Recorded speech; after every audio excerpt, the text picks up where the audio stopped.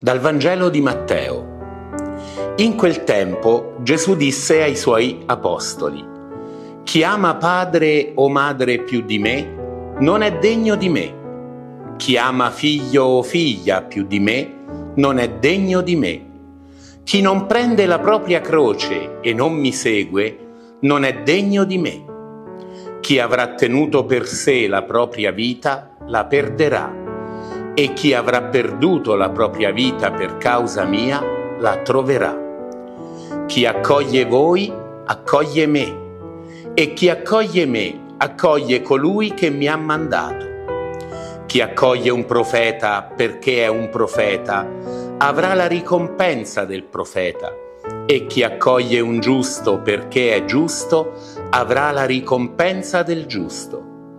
Chi avrà dato da bere anche un solo bicchiere d'acqua fresca a uno di questi piccoli, perché è mio discepolo, in verità io vi dico, non perderà la sua ricompensa. Sorelle e fratelli carissimi, celebriamo oggi la tredicesima domenica del tempo ordinario ed è anche la prima domenica del mese di luglio, mese dedicato normalmente al riposo, alle ferie alle vacanze. Quando si va in ferie, quando si va in vacanza, è sempre importante sapere bene cosa mettere in valigia. Non possiamo infatti mettere le ruote alla nostra casa, desidereremmo portarci tutto perché tutto ci sembra importante, ma occorre fare delle scelte perché specialmente se dobbiamo prendere un aereo, la nostra valigia non può essere troppo grande, non può essere troppo pesante. Quindi bisogna fare discernimento, bisogna scegliere bene e prima cosa mettere in valigia per non mettere cose inutili ed evitare invece le cose che sono davvero importanti. In un qualche modo Gesù, nella conclusione di questo secondo discorso del Vangelo di Matteo, il discorso missionario, sta chiedendo ai discepoli che aveva inviato allora e a noi che siamo i discepoli di oggi di capire ciò che davvero è essenziale nella nostra vita, ciò che davvero non può mancare nella nostra esistenza.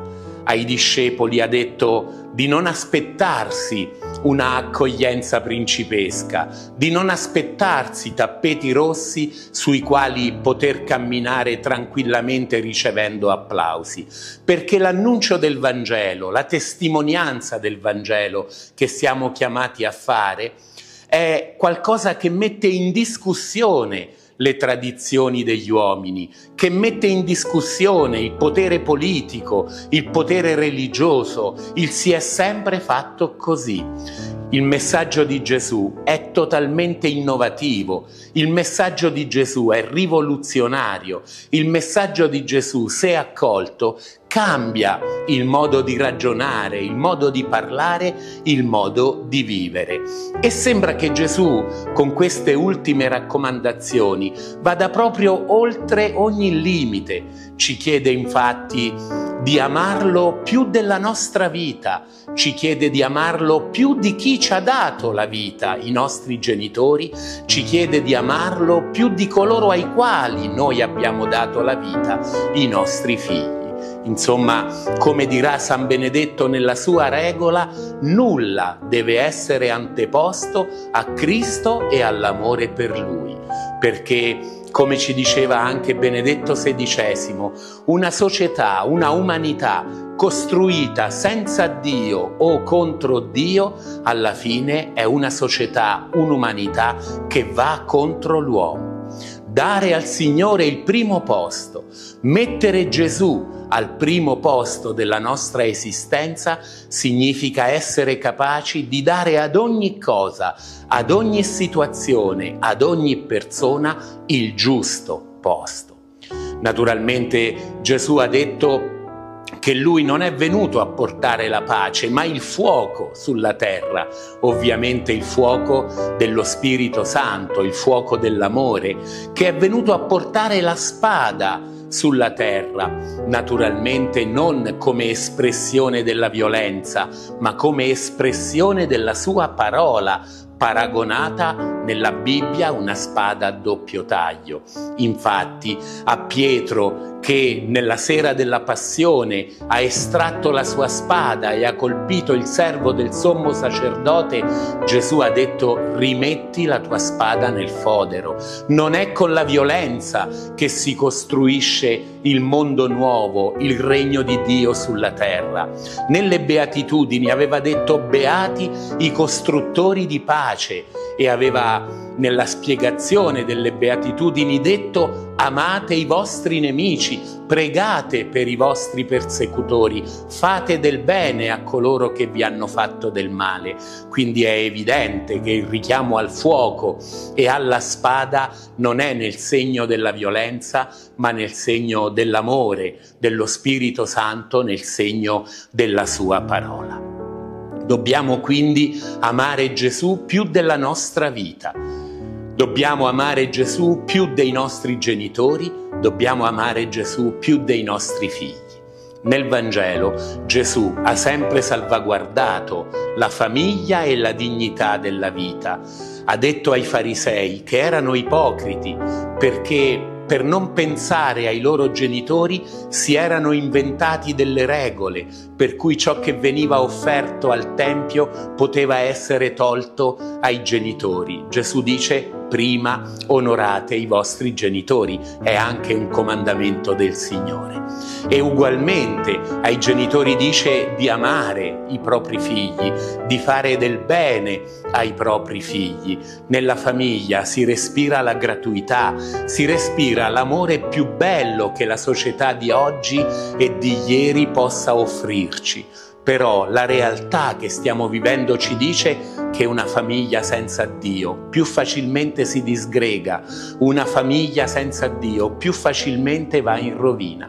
Quindi rimettiamo al primo posto l'amore di Dio, rimettiamo al primo posto l'amore di Gesù e accogliamo, abbracciamo la croce di Gesù.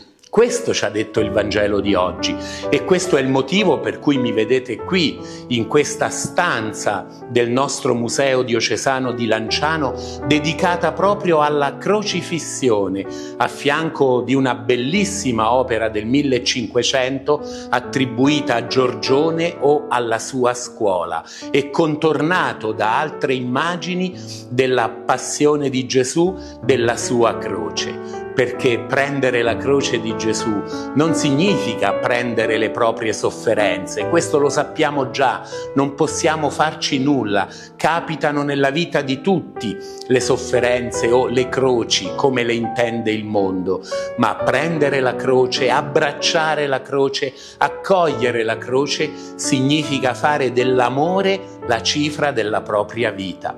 Infatti la croce che Gesù porta sulle spalle, questa opera opera si chiama proprio Cristo porta croce, è l'amore, il dono della sua vita dato a noi per la nostra salvezza, quello che anche noi dobbiamo fare. Dobbiamo scegliere di donare la nostra vita. La nostra vita ci è stata data in dono, nessuno di noi si è fatto da solo, anche chi lo pensa, anche chi lo presuppone e lo dice a tutti che si è fatto da solo, la nostra vita ci è stata data in dono e della nostra vita dobbiamo fare un dono.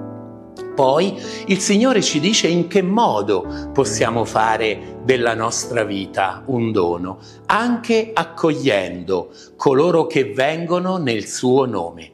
Gesù infatti ha detto chi accoglie voi accoglie me. Noi siamo inviati e siamo proposti per essere accolti dagli altri e se gli altri ci accolgono, accolgono Gesù stesso. Se noi accogliamo gli altri che vengono nel nome di Gesù, accogliamo Gesù stesso. E poi siamo chiamati ad accogliere i profeti, gli amici del Signore, gli amici di Dio, coloro che ripetono al mondo la parola di Dio coloro che ci indicano le strade del Signore, le strade sulle quali dobbiamo camminare. Prima di tutto accogliamo i profeti accogliendo il loro messaggio, poi accogliamo i profeti dando conforto alla loro vita mettendo in evidenza la bellezza del loro messaggio, il fatto che il loro messaggio viene da Dio. Poi, come ci ricorda la prima lettura nell'accoglienza di Eliseo da parte di una famiglia, possiamo accogliere i profeti accogliendoli proprio materialmente nella nostra casa, offrendo loro alloggio e vitto. Poi il Signore ci dice che dobbiamo accogliere anche i giusti. Se il profeta parla a nome di Dio, il giusto non parla con la bocca, ma parla con la vita. Il giusto è colui che ci trasmette la vita di Dio attraverso la sua esistenza, proprio come diceva San Francesco ai suoi frati. Parlate sempre del Signore, se necessario con le parole, ma fate parlare la vostra vita, esprimete attraverso i vostri comportamenti che siete abitati dal Signore, che lo Spirito Santo è nel vostro cuore. E un'ultima forma di accoglienza che il Signore ci chiede di avere è verso i piccoli, ai quali dobbiamo offrire anche semplicemente un bicchiere d'acqua, ma Gesù si raccomanda che questa acqua sia fresca, cioè che l'accoglienza non sia fatta solo per farla, ma sia fatta bene. Dobbiamo accogliere i piccoli che ci chiedono poco, ma dobbiamo farlo nel miglior modo possibile. In questo modo saremo annunciatori, in questo modo saremo testimoni del nuovo regno che il Signore è venuto a portare nel mondo, della nuova umanità, della parola del Signore che come una spada vuole far penetrare nella nostra vita, nella vita della Chiesa, nella vita del mondo intero, il suo amore. Buona estate a tutti.